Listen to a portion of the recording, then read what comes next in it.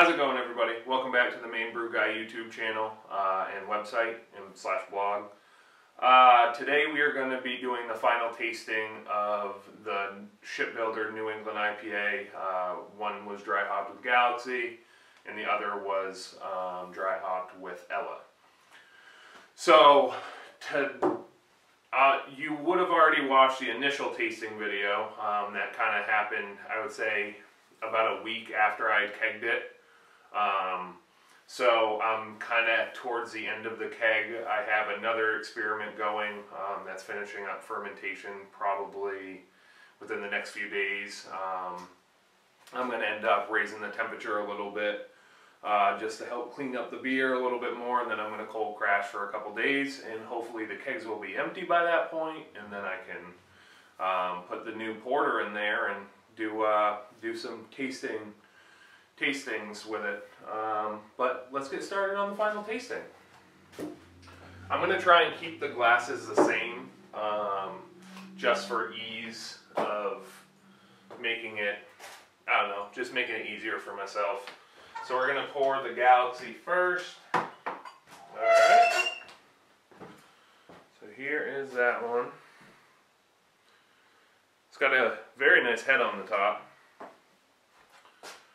hazy golden color. Smelling a lot more citrus, citrusy notes. Um, well, let's pour Ella. Hmm. All right, so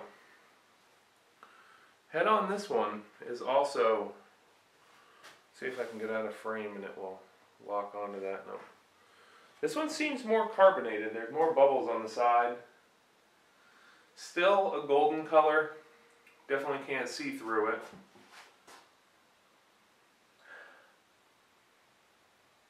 I'm getting more of a like a grapefruit citrus note, not just a general citrus, but like kind of grapefruity. A slight hint of that bubblegumness that I was talking about in my initial video.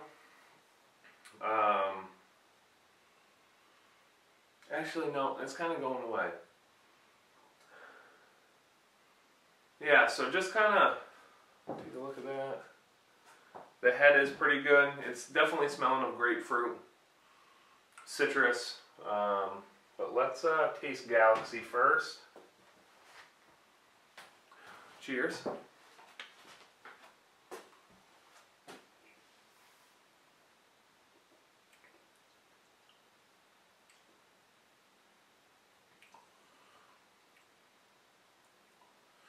It's crazy to me. I was really worried about this beer messing up um, because I messed up the water profile on Beersmith, but they actually turned out surprisingly a lot better than I thought tasting the gravity sample um, after fermentation. So I'm pretty happy with it. Um, I had, didn't really share this with anybody this time just because I was nervous. I didn't. I knew that there was it wouldn't be exactly what people were looking for. Um, it just, I clearly messed up on the water salt. Um, it happens in home brewing. Every beer can't be perfect, but it's still good. Um, you can't, I mean, I can tell because I focused on it. The only person I let try this was my dad, and he was like, wow, this is good, but he likes Miller and Coors Light, so his palate's probably not that uh, tuned to craft beer anyways.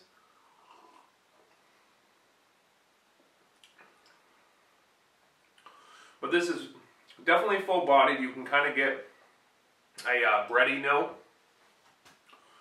Um, it's not overly it's not overly like pronounced the bready note. Um, it's kind of just like right in the back a little bit. If you let it sit on your tongue for a little while you get it. But um, there's also no lasting bitterness on the back of your tongue. It definitely tastes of citrus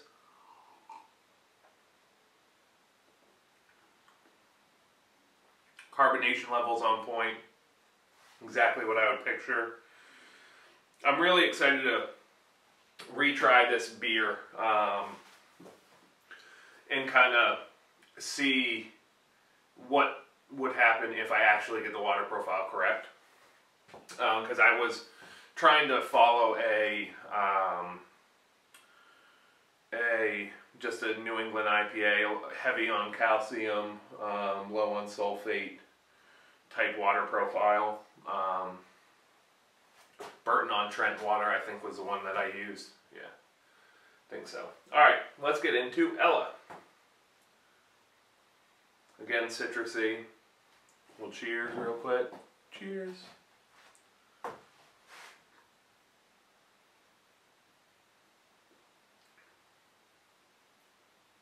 Okay. I'm getting a little bit of taste of the bubblegum type taste. This Ella one is way more fruity. Um, the Galaxy, Galaxy version is super dry. I don't want to say super dry. It's definitely more dry than this. This, when you take a sip, you get punched in the mouth with fruit flavor. Um, and I don't think it's a lot of ester production um, from fermentation because I keep my uh, fermentation pretty much within one to two degrees. Um, I haven't had a lot of fluctuation um, higher than the 67 to 68 range, so I know it's not because of fermenting too high. I think it just might be the yeast strain. Um, I believe, if I'm correct, I did the SO4 on this one. I might be getting them backwards. Um, I need to do a better job of labeling my my uh, kegs and kind of tell more of like the yeast strain and stuff I use. I know this has Ella in it. Um, that's the one thing I did mark on the keg, but um, yeah. So let's uh,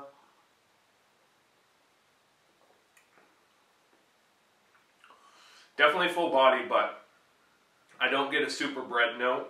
Um, like I said, I just get punched in the mouth with a big juice bomb, basically. Uh, citrusy, I definitely taste some grapefruit in there. Um, carbonation level, exactly the same as that, obviously. They're on the same CO2. Um, I'm actually relatively happy with, with these, given what I know happened. Like I said before, it's it's not undrinkable and not unpleasant like I was thinking when I first took the gravity reading. I actually poured the gravity readings out because I didn't want to drink it because it was so salty. Um, but the salt content has either settled out um, and I'll get it on the last one or it's just kind of mellowed out now that it's had time to age in the keg. I'm going for one more.